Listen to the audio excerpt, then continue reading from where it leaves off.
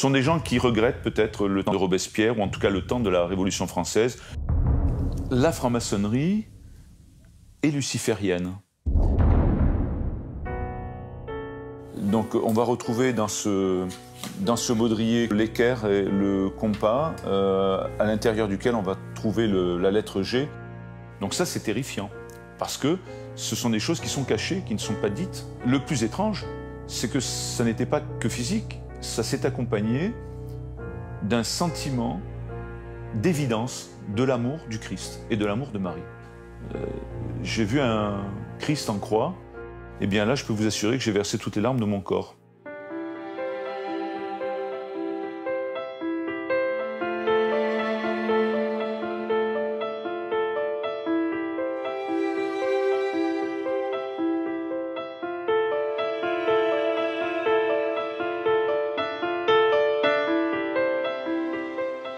C'est un ancien haut fonctionnaire, ancien directeur général des services d'une mairie, architecte de formation, mais également juriste.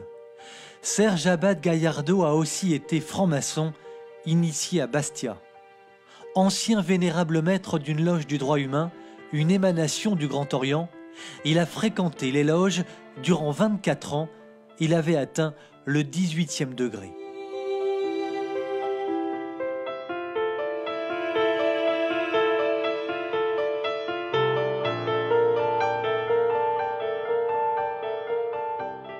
Parcours classique d'un homme qui, parce qu'il ne trouve pas de réponse aux questions qu'il se pose, arrive un jour en franc-maçonnerie. Durant plusieurs jours, nous avons suivi Serge Abad Gaillardo chez lui dans le midi de la France. Il nous semble nécessaire de préciser ceci.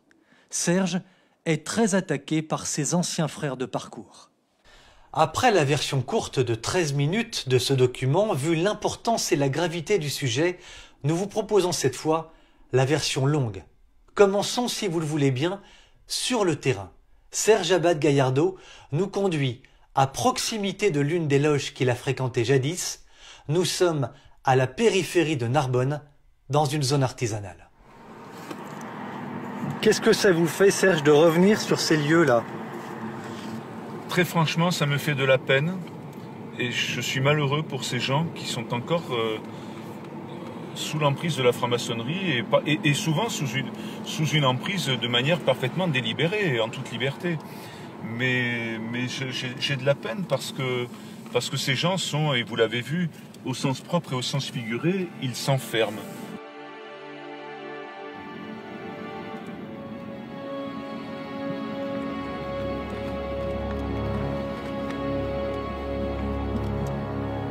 Donc cet endroit-là, vous l'avez fréquenté, vous? Oui, oui, oui, je l'ai fréquenté quelques années. Il y a le temple maçonnique à proprement parler, avec euh, le décor habituel, euh, savoir les rangées de fauteuils qu'on appelle des colonnes, euh, l'Orient, les symboles maçonniques, etc., qui est le temple dans lequel se déroulent les tenues, les initiations, les cérémonies.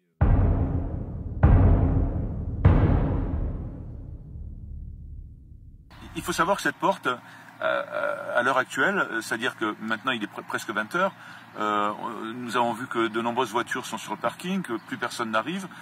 Euh, ça veut donc dire que la tenue euh, va démarrer sous peu. Donc cette porte était actuellement fermée à clé. plus personne ne peut entrer. Quiconque voudrait entrer serait obligé de sonner. Et pour sonner, il y a des codes. En l'espèce, c'est pour le mot de passe, il y a mot de passe, mot sacré, mot à bon, tu balcain, voilà.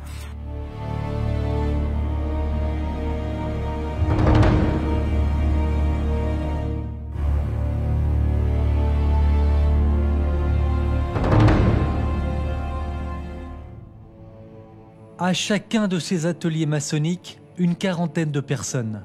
Lorsque les loges commencent à dépasser ce chiffre, on met en place un essaimage. 15 personnes ouvrent une autre loge ailleurs avec un autre nom jusqu'à atteindre ce chiffre de 40 et ainsi de suite. On essaime donc partout où c'est possible. Serge Abad Gaillardo, bonjour. Bonjour. Merci de nous recevoir chez vous, dans votre maison. La première question que je souhaite vous poser est la suivante. Quelle définition pouvez-vous donner à la franc-maçonnerie? Je vous donnerai celle de la franc-maçonnerie par elle-même, qui euh, prétend être un groupe philosophique, un club de pensée, euh, mais qui en réalité, en ce qui me concerne, euh, est plutôt une religion. Je, crois que je le démontre assez facilement et je ne suis pas le seul puisque, bien entendu, je le démontre à partir de mon propre raisonnement, de ma propre expérience, mais également je le démontre par des écrits maçonniques eux-mêmes, notamment les constitutions d'Anderson, voire des livres euh, rédigés par des francs-maçons très érudits et très reconnus.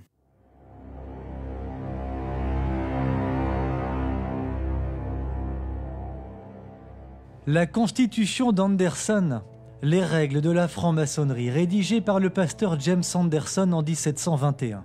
Cette constitution indique clairement que la franc-maçonnerie est fondée sur la croyance en Dieu. Toute la question est de savoir quel est ce Dieu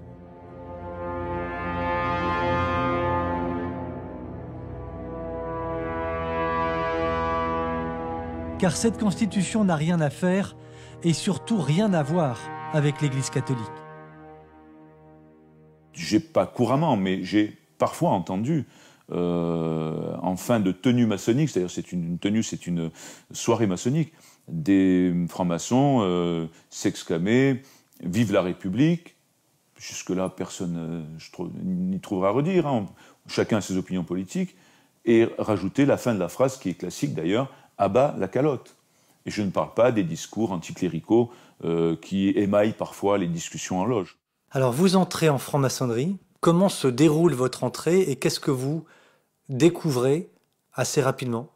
Alors, il faut savoir qu'il y a tout d'abord des enquêtes, des enquêtes qui sont explicites, des personnes qui viennent vous rencontrer pour vous poser des questions sur votre point de vue euh, quant à la philosophie, quant à votre vie personnelle, votre univers professionnel.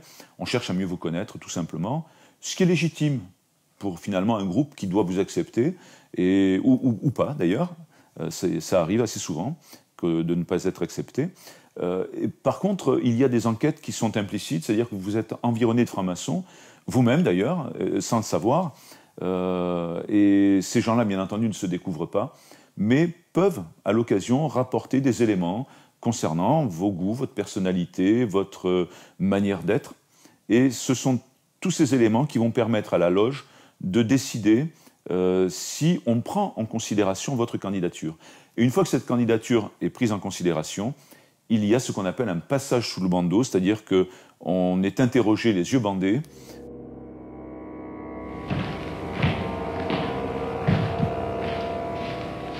Monsieur, voulez vous frapper on, on frappe irrégulièrement à la porte du temple. Qui frappe irrégulièrement à la porte du temple? C'est un profane qui demande à être reçu franc-maçon. Frère grand expert et vous, frère maître des cérémonies, introduisez ce profane. Debout, mes frères, glaive en main.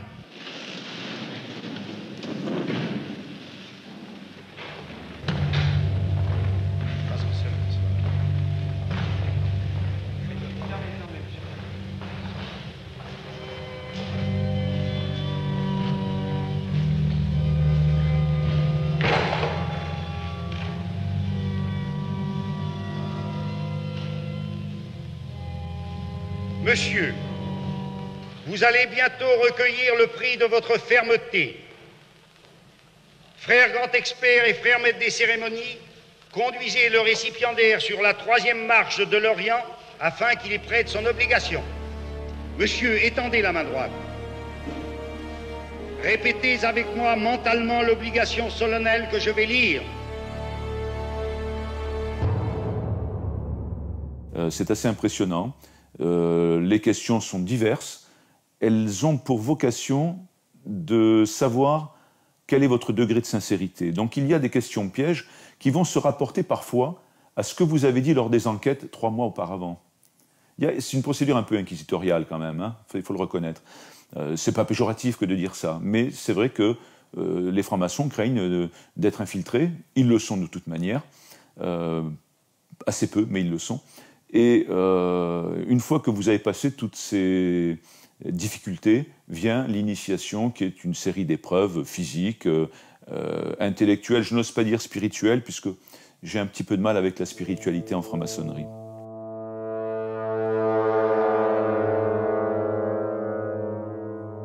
Toutes les phrases du rituel sont dites euh, par les officiers de la loge de manière très théâtrale. Par exemple, quand vous commencez votre initiation, euh, le vénérable maître dit frère ou sœur, ça dépend de la mixité ou de la masculinité de la loge, euh, faites faire au profane son premier voyage et ramenez-le sain et sauf. Donc vous avez les yeux bandés, vous entendez ça, c'est quand même inquiétant. Au Grand Orient, il y a par exemple une partie du rituel qui consiste à un moment donné à allonger une personne avec une chemise blanche tachée de rouge qui est très semblable à du sang, hein, de peinture rouge, comme si la personne était blessée, et il va découvrir une personne avec une épée plantée dans, le ventre euh, et, et, plein de sang. Et à ce moment-là, le vénérable maître dit voilà, voilà ce qui menace les traîtres. Donc ça peut effectivement dérouter. Mais vous, ça ne vous a pas empêché de poursuivre le parcours qui a été le vôtre pendant 24 ans? Non, parce que ni, ni, de, ni de poursuivre l'initiation, parce qu'on vous pose quand même la question tout au long de l'initiation. Persistez-vous Parce que ce qui est un petit peu pervers dans cette histoire, c'est qu'on vous pose cette question, et finalement vous y entrez de votre plein gré. Mais il y a quand même malgré tout quelque chose qui s'apparente à de la manipulation ces images qu'on vous fait voir, ce rituel qu'on vous fait subir, euh, tout ça impressionne votre esprit, euh, mais en même temps, vous y entrez de votre plein gré. Et on y entre également de notre plein gré, pourquoi? Parce que finalement, on fait confiance à celui qui est notre parrain. Le parrain vous rassure quand même, dit les épreuves sont symboliques, vous fait comprendre qu'il y a bien sûr quelque chose d'important qui va se passer, mais que tout le monde étant passé par là, c'est pas très dangereux. Voilà.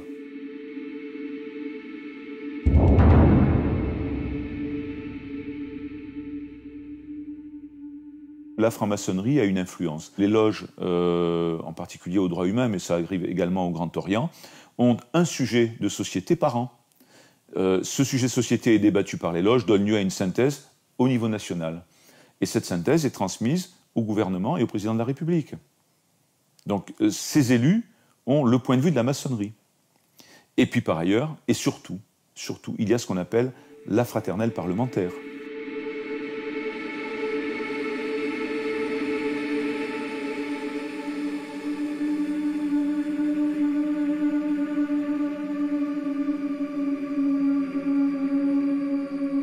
Quand vous avez 40 personnes qui, elles, chacune, dans leur cercle d'influence ou de connaissances, euh, va pouvoir parler d'un thème à 20 ou 30 personnes, ça se multiplie. Alors ça, c'est un, des, un des moyens, je dirais, de dispersion de l'idéal maçonnique.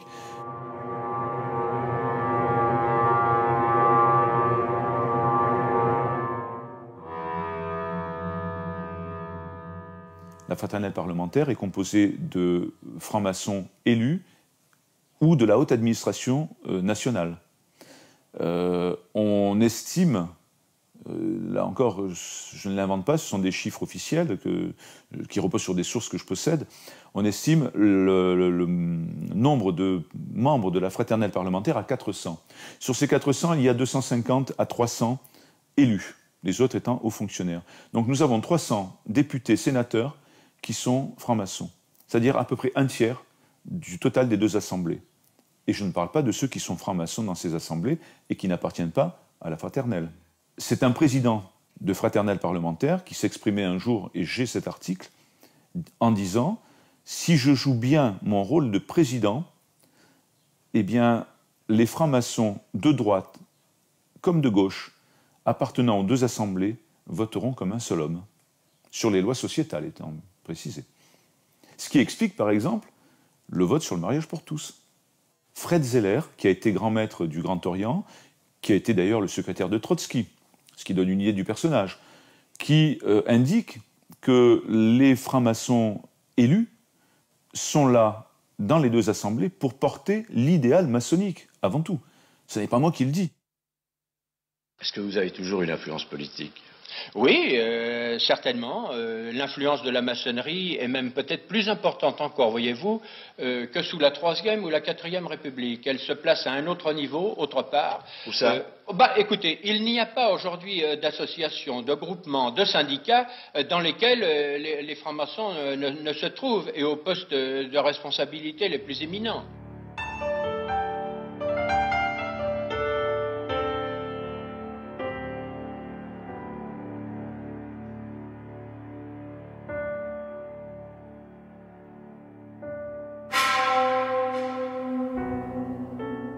Mais euh, si l'on croit, comme c'est mon cas, dans la République, euh, à un moment, il faut euh, passer par la franc-maçonnerie. Il y a également Pierre Simon, ancien grand maître de la Grande Loge de France, qui est à l'origine de l'avortement.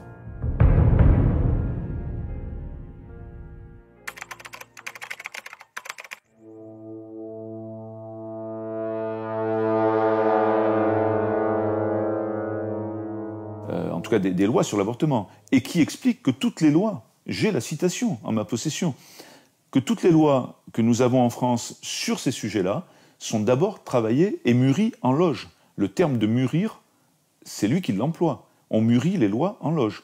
J'ai personnellement, dans le deuxième livre que je viens de faire publier, euh, donné la preuve qu'il y a eu une tentative de modification de la loi Leonetti dernièrement, euh, dans laquelle on retrouve des termes identiques dans l'actuel code de la santé publique et, dans les planches maçonniques, dans les courriers également que la Grande Loge féminine de France a envoyés au gouvernement.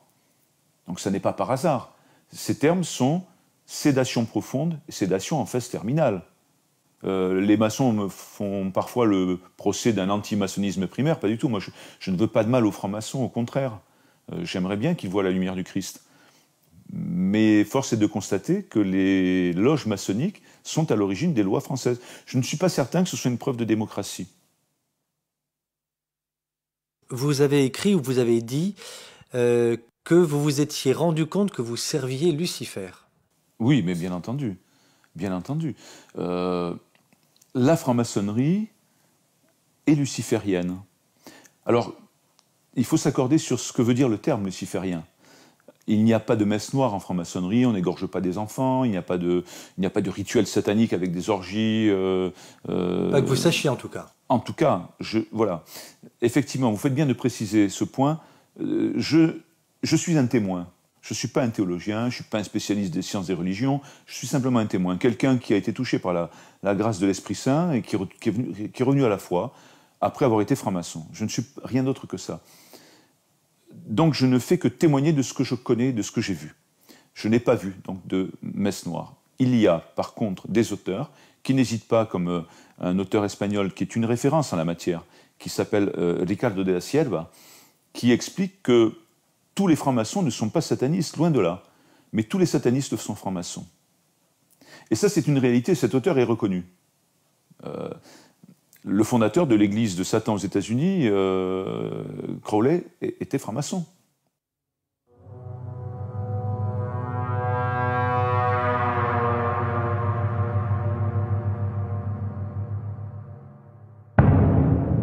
Euh, j'ai lu également qu'Albert Pike était sataniste.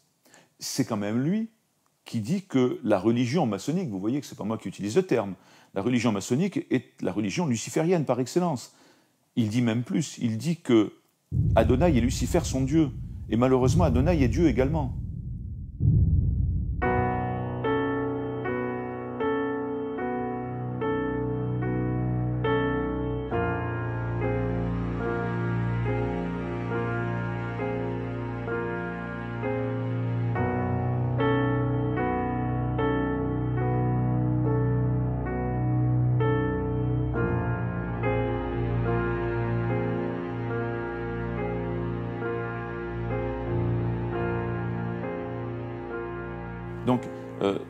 Je n'invente pas lorsque je dis que la maçonnerie a un aspect luciférien. Mais cet aspect est beaucoup plus subtil. Euh, c'est quelque chose qui, euh, comme je le disais, arrive très progressivement. Ou du moins, qui n'est découvert que progressivement, à condition qu'on veuille bien chercher. Par exemple, le mot qui est utilisé, il y a, un mot de passe et un mot sacré au grade de maître. Ces deux mots sont Tubalcain et Moabon. Tubal-Caïn, le mot du maître. Tubal-Caïn est un descendant de Caïn. C'est le mot qu'on vous donne à l'oreille lorsqu'on vous relève de la mort figurée euh, que vous venez de jouer, hein, c'est une sorte de psychodrame, euh, lors de l'assassinat d'Iram, le modèle des francs-maçons. Donc vous devenez vous-même un nouvel Iram. On n'est pas dans la résurrection, là, on est dans une sorte de réincarnation. Et on vous dit ce mot à l'oreille, Tubalcain. Vous êtes donc, par filiation spirituelle, un descendant de Caïn. Et vous l'êtes d'autant plus que le deuxième mot est Moabon. Moabon en hébreu, en tout cas par son étymologie, je, ne suis pas spécialiste, mais c'est en tout cas ce qui est dit par la franc-maçonnerie elle-même, signifie fils du Père. Donc on vous donne deux mots qui permettent de se reconnaître entre maîtres, ou de faire valoir votre qualité de maître auprès des autres, Tubal-Caïn, Moabon.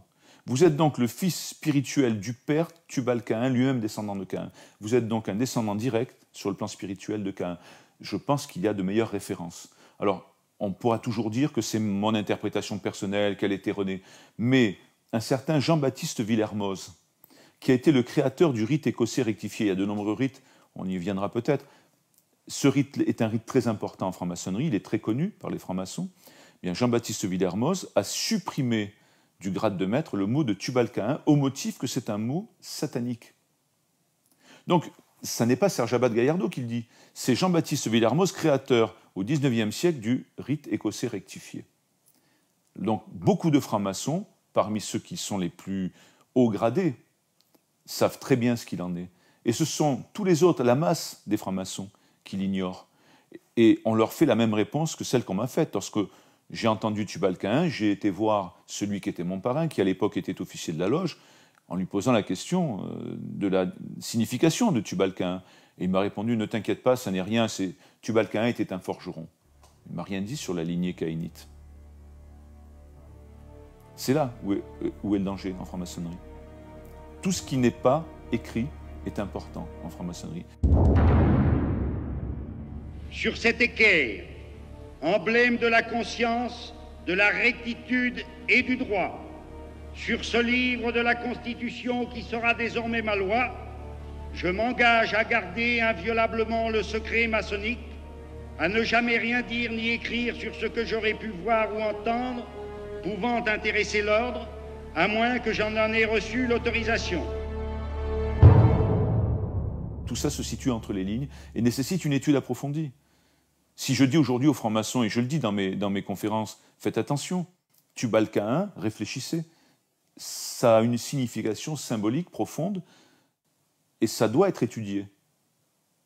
Bien peu le, se disent, oh, voilà, bien peu confondent le symbolique et le théorique.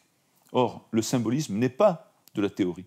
Le symbolisme est une manière opérationnelle d'intervenir dans l'esprit humain. On aura une euh, antinomie avec la foi catholique. À propos de symboles dont la franc-maçonnerie regorge, il y a les symboles vestimentaires. Serge Abad Gaillardo a conservé quelques éléments qui étaient en sa possession. Voilà, donc euh, vous avez donc une paire de gants euh, maçonniques. on distingue leur qualité maçonnique par le fait qu'il y ait en broderie une équerre et un compas. Et ce sont les gants que tous les francs-maçons portent euh, en tenue, ce port de gants est obligatoire et il a une signification symbolique, bien entendu. Il signifie la pureté des intentions. Euh, en tout cas, c'est ce qu'on explique aux jeunes apprentis à qui on les offre dès qu'il est initié. Là, c'est un tablier d'apprenti. Alors, il est porté de cette manière-là. Euh, lorsque la personne vient de recevoir l'initiation, on, lui, accroche ce tablier autour de la taille. Euh, nous voyons également sur ce, sur ce tablier deux lettres, euh, les M, trois points, B, trois points. C'est une écriture maçonnique. Et nous avons donc ici les initiales de Moabon. Fils du père. Fils du père, donc relié à Tubal Caïn, signifie que le maître franc-maçon est euh, dans la lignée directe de Caïn, est un descendant spirituel de Caïn. Ce tablier est complété par ce qu'on appelle un baudrier, qui rappelle le port de l'épée par les chevaliers, la franc-maçonnerie notamment au rite écossais euh, ancien et accepté, est très liée à la chevalerie templière, avec toujours euh, l'équerre et le compas, et qui signifie selon les, obédiences euh, génération, gravitation, gnose, god, etc.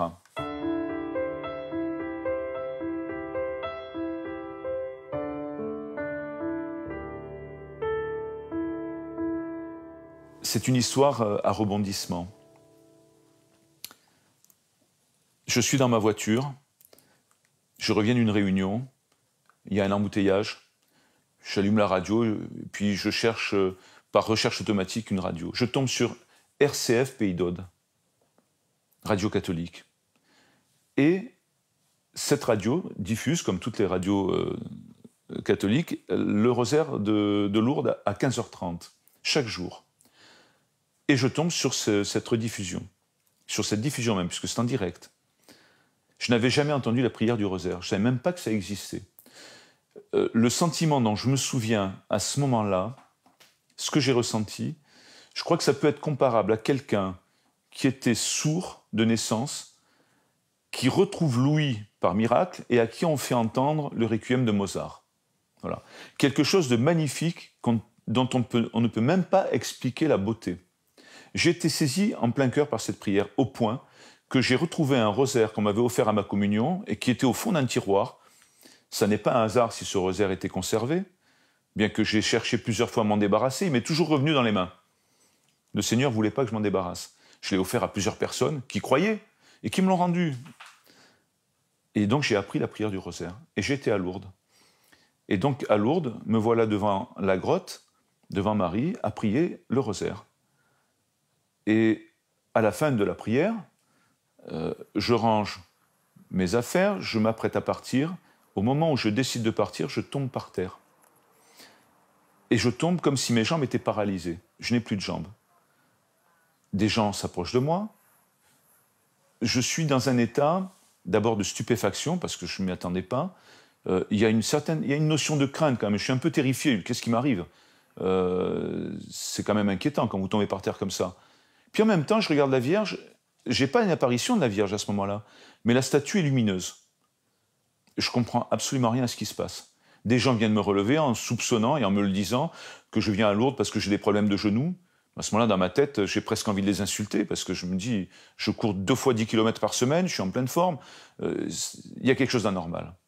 Au bout d'un instant que je ne saurais mesurer, mais qui a duré un certain temps quand même, on arrive à me relever parce que mes jambes ne me, portaient plus. On me relevait, je retombais, je ne pouvais pas. Je ne pouvais pas marcher. Et puis là, je rentre. Ma veste est déchirée, mon épouse s'inquiète euh, à l'hôtel, me dit Mais qu'est-ce qui t'est arrivé? Et je, n'ose pas lui dire, hein. je lui raconte que je suis tombé, j'ai glissé.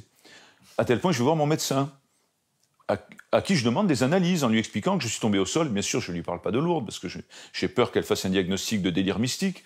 Et donc, euh, je dis besoin d'analyse parce que j'ai peut-être quelque chose du type sclérose en plaques, cancer, que sais-je, quelque chose de grave. Et donc, euh, les analyses reviennent sans problème. Et le médecin, là, à ce moment-là, je dis, mais j'étais à Lourdes, je suis tombé par terre. Et le médecin me dit, mais écoutez, non, je ne comprends pas, je vois pas. Et là, je lui dis le mot fatidique, mais peut-être que j'ai un problème psychologique de délire. Et elle me dit, écoutez, je suis votre médecin personnel depuis, enfin en tout cas euh, attitré depuis 10 ans, euh, vous êtes parfaitement équilibré, je ne vois pas chez vous de traces de psychose ou de névrose. Et euh, bon, là-dessus, finalement, je me dis, il se passe quelque chose de l'ordre surnaturel. Il y a quelque chose qu'on ne m'explique pas là. Et je vais m'enquérir auprès d'un prêtre. Le plus étrange, c'est que ça n'était pas que physique, ça s'est accompagné d'un sentiment d'évidence de l'amour du Christ et de l'amour de Marie. J'ai du mal à l'expliquer. Amour, je dirais, bilatéral. C'est-à-dire, de mon côté, j'ai aimé Marie, j'ai aimé le Christ comme, comme on aime la première fois qu'on aime euh, lorsqu'on est amoureux à 15 ans. Et en même temps, j'ai senti que cet amour euh, était bien plus grand de leur côté et qu'il me revenait en retour. Et que même il revenait, je veux dire, il venait en priorité, d'abord. Et c'est ce qui m'a poussé euh, à faire une retraite dans une abbaye. Euh, voilà pourquoi je me suis retrouvé devant les portes de l'abbaye de la Grâce. Ça a été très étrange. Et lorsque je suis entré dans la cellule, qui était celle qu'on m'avait réservée pour cette semaine de retraite, euh, j'ai vu un Christ en croix et je me suis mis à pleurer. Je suis quelqu'un qui ne pleure pas. Vous savez, euh, les, gens qui sont d'origine andalouse sont très fiers. Et mon père m'a toujours éduqué en m'apprenant qu'un homme, ça ne pleure pas. Et je ne sais pas pleurer. Eh bien là, je peux vous assurer que j'ai versé toutes les larmes de mon corps. Voilà. C'est l'histoire de mon retour à la foi. Bien sûr, après, il s'est passé beaucoup de choses. Mais tout ça était quelque chose de, Voilà, j'ai compris, j'ai compris que la divinité maçonnique, le naturalisme divin de la franc-maçonnerie n'était qu'un concept, une idée, euh, une idée philosophique, et que Dieu était une expérience, au contraire de cela. Le Dieu des catholiques, le véritable Dieu, est une expérience personnelle, et il nous aime. Et je me suis aperçu finalement, non pas par mon propre raisonnement, mais par la grâce de Dieu. C'est aussi simple que ça. Que finalement, cette lumière maçonnique, c'est une petite ampoule à côté de l'explosion nucléaire qu'était l'amour du Christ. Donc effectivement, oui, je suis soigné, je suis réparé, je suis sauvé, probablement. Rien n'est jamais acquis. Rien n'est jamais acquis. Euh, Dieu nous donne la possibilité de répondre à son appel. Et nous pouvons faire comme le mendiant au coin de la rue, à qui on va donner un billet. Si nous gardons le poing fermé, on ne prendra jamais ce billet. Et Dieu agit comme ça avec nous. Aujourd'hui, euh, oui, j'ai la main ouverte. Et, je crois surtout que je, vis un amour extraordinaire qui ne peut pas s'expliquer. Là est la ressemblance avec le secret maçonnique. Mais ce n'est qu'une ressemblance formelle, parce que le franc-maçon croit qu'il est en marche vers la découverte de son propre secret, mais en franc-maçonnerie, on n'est pas en psychanalyse. On cherche une vérité, sa propre vérité, mais on ne trouve que soi-même. Et soi-même, nous sommes très pauvres sans le Christ. Nous ne sommes rien. Aujourd'hui, j'imagine que pour rien au monde, vous ne reviendriez en arrière. Ah non, non, non. Euh, je ne changerai pas le mode de vie sur le plan matériel que j'avais auparavant avec celui que j'ai aujourd'hui qui n'est pas euh, difficile, mais qui, est, qui est plutôt modeste, si je devais y laisser la spiritualité que j'ai trouvée en Christ. Pour rien au monde. À choisir, je préférerais devenir mendiant dans l'amour du Christ que riche ou aisé financièrement dans l'éloignement du Christ. Euh, je pour moi, la question ne se pose même pas. La question ne se pose même pas il y a le monde et il y a Dieu. Il y a Mammon et il y a Dieu. Et j'ai fait un choix. J'ai fait un choix. Il est clair. Et j'espère qu'il est irréversible. En tout cas, pour ma part, je le pense irréversible. Et j'imagine bien que de la part du Christ, Dieu étant fidèle, il ne m'abandonnera jamais. Il est tout le temps là. Il m'aide. Je traverse des difficultés terribles, terribles. Mais je tombe et il me relève. Et Marie est là aussi. Alors c'est difficile à expliquer, difficile à exprimer, mais c'est une réalité, une réalité presque sensible. Alors j'imagine bien que les francs-maçons qui pourraient regarder cette émission euh, seraient très dubitatifs. Alors je les invite à deux choses. D'abord lire un livre récent, je ne parle pas de mes livres, vous voyez, je ne fais pas de publicité sur mes livres, un livre extraordinaire que vient d'écrire le cardinal Sarah, qui s'appelle La force du silence. Lire ce livre et ensuite aller en adoration devant le Saint-Sacrement. Et s'ils ne se convertissent pas, qu'ils n'abandonnent pas la franc-maçonnerie, c'est qu'ils ont fermé leur cœur. Merci Serge pour toutes ces conférences. Merci, merci à vous. Merci à vous.